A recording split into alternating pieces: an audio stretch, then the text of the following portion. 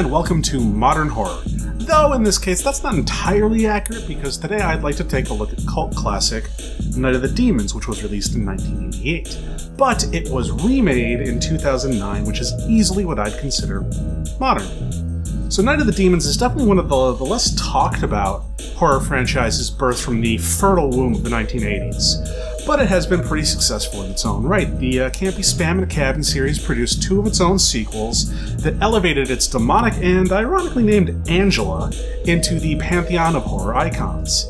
Then, 20 ish years later, the original's director, Kevin Tenney, produced a reboot written by husband and wife team Adam Gierasch and Jace Anderson. Unfortunately, this movie went direct to DVD and attempts to kickstart a sequel have failed, so this remake stands alone. Now, with two movies here, there's a lot of material and I don't want to get bogged down, so I have contracted my lawyer to assist me.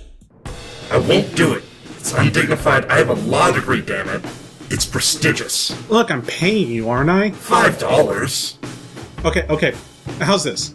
I have a magic fork that tells the future. What about that? Prove it. Fork! Speak unto me the secrets of the future. You have a Reuben for lunch. It won't be very good. Eh? Eh? Pretty good. God, fine. Alright, that helps. Anyway, Angela's throwing a party, so let's go. Now, the original opens up with a pretty lengthy animated title sequence of Halloween night beginning and all of the creepy ghoulies rising from the grave to haunt. It looks pretty cool, and I think it does a good job at setting uh, expectations at the appropriate, you know, B-movie funhouse level. The opening theme here is actually pretty awesome. Being 80s synth pop, it does feel a bit dated and has moments where it falls back into like 16-bit video game music, but on the whole, it sounds pretty full otherwise. The whole soundtrack is actually really good, and aside from a few contemporary goth rock bands, the whole thing was composed entirely by the director's brother, Dennis. Rather than an animated sequence, the new one starts off with an old timey flashback of a Halloween party gone horrifyingly wrong. This nicely shows off the history of the house rather than the somewhat awkward exposition dumps used in the original movie. From there, we jump to a Halloween parade 85 years later.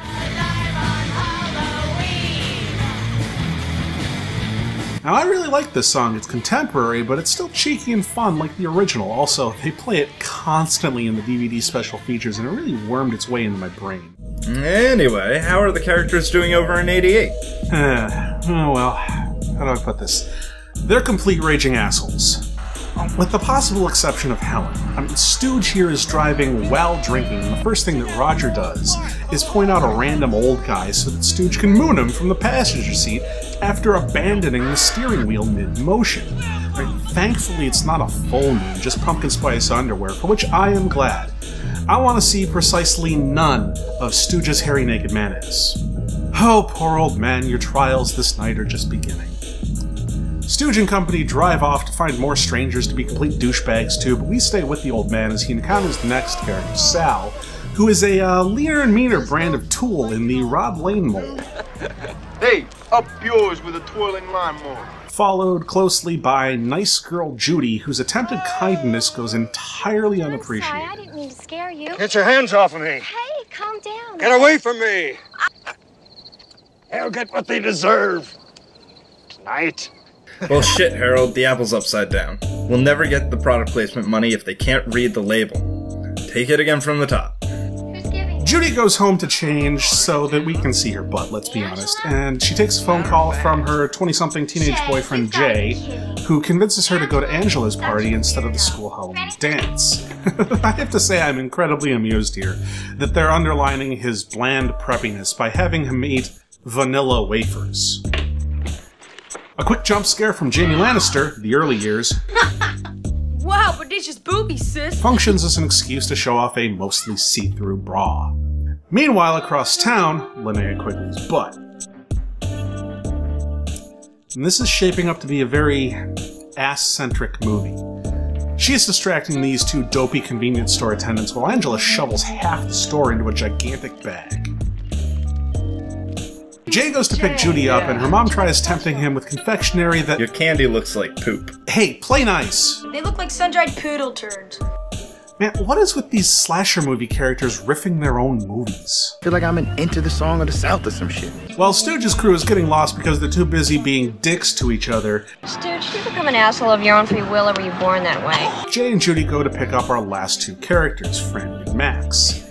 Now, we've got a few too many characters to use the Cabin in the Woods archetypes here, since that's a result of several more years worth of distilling that formula, but uh, let's see what we can do. Whore, virgin, athlete, fool, scholar, uh, token black guy, warm body, warm body, warm body. So, how do they round things out in 2009? Our first character is Angela and her awkwardly robotic cat. She's got a bit of a Dr. Claw thing going on, Get you next time, Gadget. but we'll catch up with her later. Next up are Lily in the traditional slutty cat costume and her friend Maddie in the somewhat less traditional but more genre savvy slasher victim costume.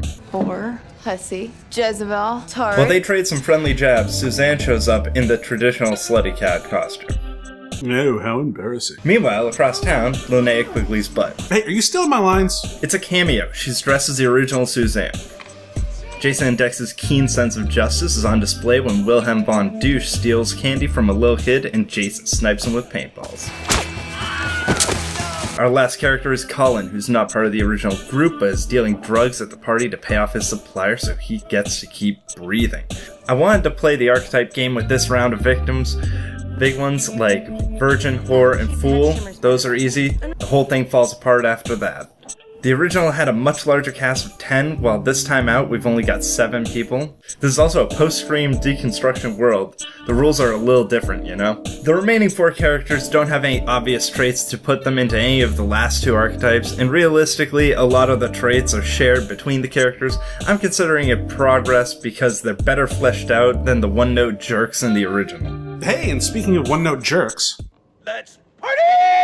and party they do with their illicitly gained snacks, booze, 80s rock, and gratuitous ass shots. At least until the batteries in the boombox die and leave them without radical tunage.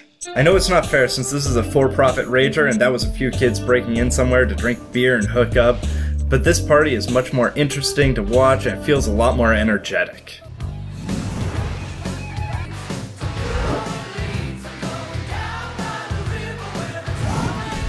Angela's given a nice dramatic introduction, giving the partygoers a speech followed by a montage of the party going well, and Suzanne gets dangerously drunk. However, all good things must come to an end, and the police show up and shut down the party because Angela apparently forgot to get all the right permits. Should have called the skeleton lawyer. Just saying. Once everybody else gets escorted out, our main cast comes back in. Anyway, to get the demonic portion of the evening underway, the Scooby Gang finds a hidden room in the basement while looking for Colin's drugs. Since modern Scream Queen Tiffany Shepis turned tail and ran off with all the money from the party store charges after her cameo ended, Angela's pretty hard up for rent money, so she tries to steal the gold teeth from the skeletons they find in the room, which is a bad, bad decision. Us skeletons are scrappy. We'll bite a mofo. It bit her! Okay, anyway, back in the 80s, Angela tries to keep the party going by suggesting a seance, and as luck would have it, they find a mirror in the back large enough for them all to look into for a past life seance. A what? A past life seance. You know, we all sit around, look in a mirror, and see our past lives. Now, honestly, given that there's like 10 people at this party, half of them are assholes, and they all seem to hate each other, I think the real miracle here is that they've agreed to sit quietly and stare at a mirror together. Surprisingly for them, the seance actually works and awakens this awesome looking insectoid dragon demon thing, which freaks the hell out of Helen and then knocks the mirror over.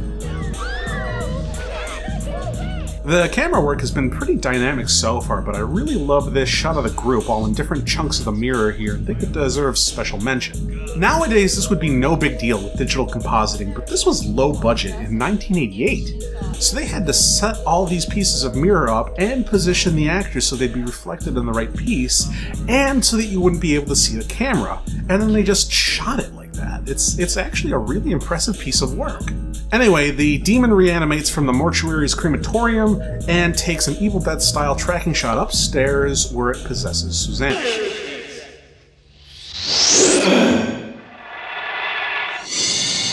What's the difference between possessed and haunted?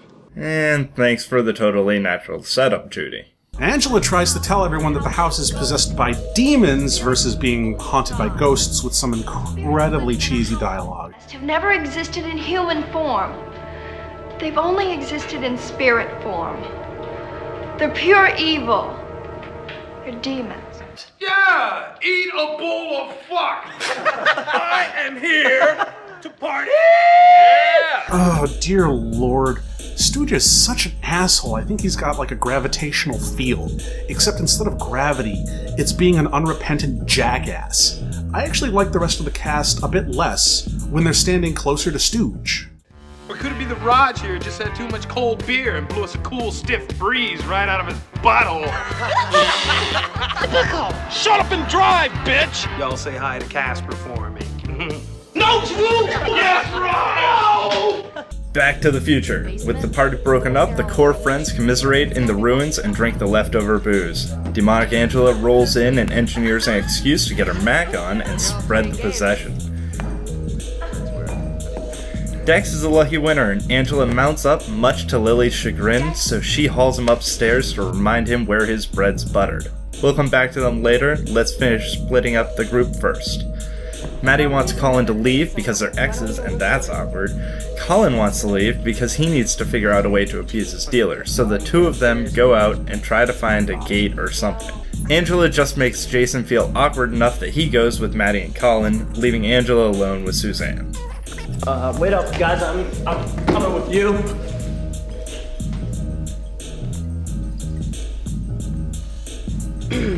I really like how they did that. It's, uh, it's a much more natural way to isolate everyone. There are motivations behind all the actions. I mean, in the original, it just seemed like everyone's established, someone's possessed, so the next step is to split them up and start killing them off. I mean, Max and Franny go to hook up, Jay takes Judy away because he wants to hook up, Suzanne makes Stooge think they're gonna hook up.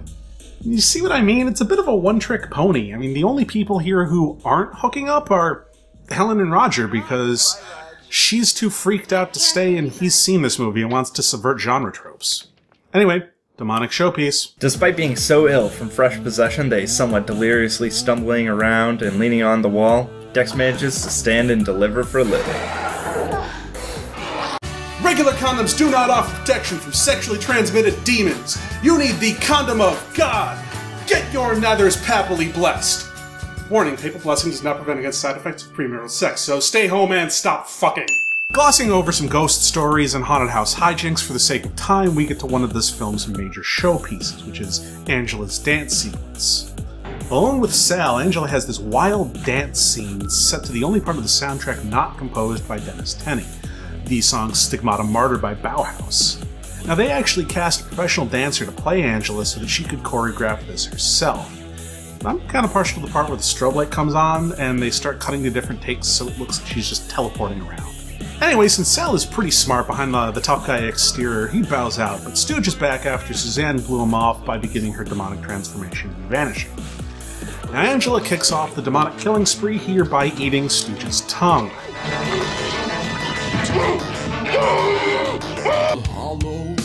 Unfortunately, back in the remake, Shannon Elizabeth is not a trained dancer, so Angela's dance is just a seductive slow dance set to Peter Steele's always superlative and sorely missed rich gothic sex voice.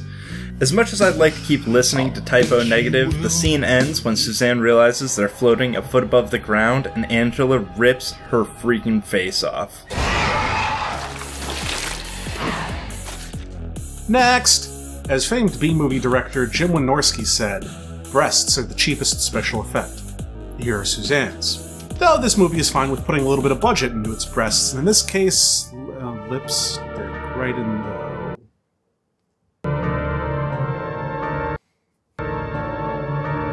Oh dear.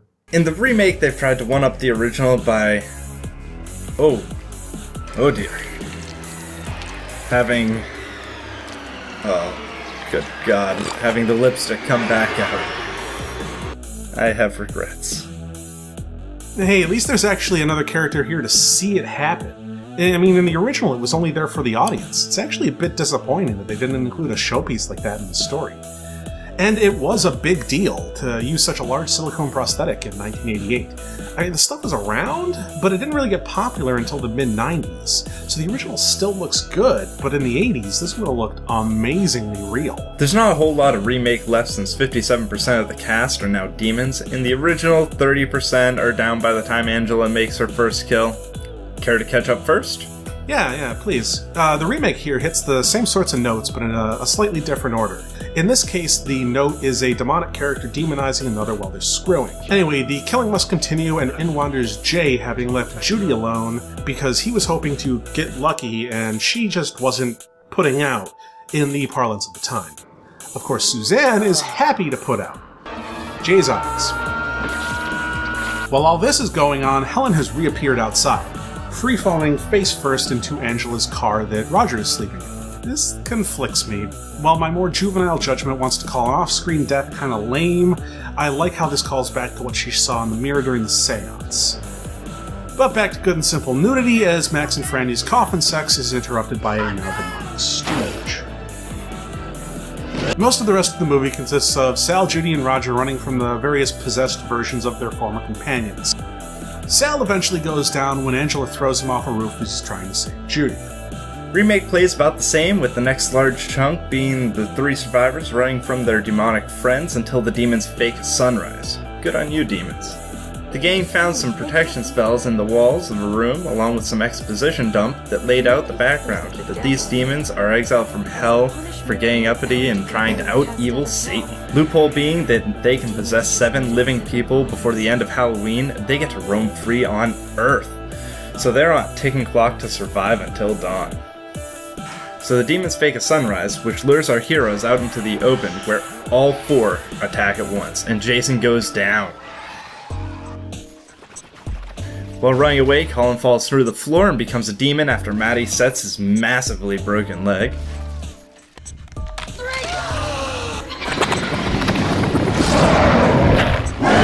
The demons finally corner Maddie just before sunrise, and she jumps out the window with a rope around her neck, just like Evangeline Broussard did in the opening. Since they weren't able to get the seven souls before daybreak, the demons burn off. However, Maddie had only faked the noose, so she unties the rope around her waist and walks off, quipping before what's sure to be years of alcoholism and psychotherapy. Demons. Not so smart.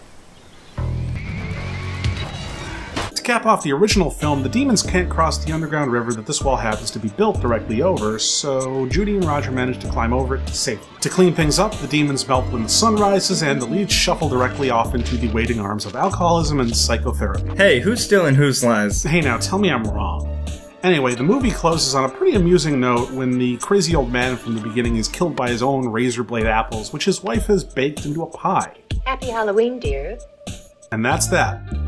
I can easily see why the original movie became the cult hit that it is. The special effects are really good and creative, it's got a great tongue-in-cheek sense of humor, and the kills are all pretty unapologetic. All the TNA probably didn't hurt it at the time either. But if we're being honest, I think I like the remake a little bit better. The original story was a pretty low effort setup to get some teens together into a haunted house and then kill them off, while the remake is just generally better put together. In addition to some of the issues that I've already mentioned, the remake just seemed to have better characters. Stooge, Roger, Jay, and Sal were all pretty awful people, and I really thought that that entire cast hated each other. Jason, Dex, Maddie, Suzanne, and Lily may have been pretty bland, but they seemed nice enough, and the characters actually seemed like friends. But while I really appreciated the remake's story and characters over the original, I don't really like its special effects quite as much as the originals. The new demonic Suzanne was actually pretty cool, but the new Angela just looks awful. And Black Lagoon Lily is fun, but she seems a bit out of place. It just generally lacked Steve Johnson's finesse and cohesive vision. Also, despite being in a much more interesting setting, I felt like it lacked the visual directorial flair of the original, and only really outdid it during the opening song and the entrance to the party because those scenes had so much built-in spectacle. Those were really the only scenes that felt like they had the, the Halloween spirit to me. But both movies are really good spam in a cabin flicks without a doubt. Whew. That was a thing. Anyway, thank you so much for checking out some modern horror. Feel free to leave a comment below, and also please subscribe to be notified of new videos. Again, thanks for watching. Cheers and happy Halloween. I like big butts and I cannot lie. You can't deny. You when a girl walks in with itty bitty waist and a in your face, you get sprung. Wanna pull up, no, cause we for stuff. Deep in the jeans she's wearing, I'm hooked and I can't stop tearing.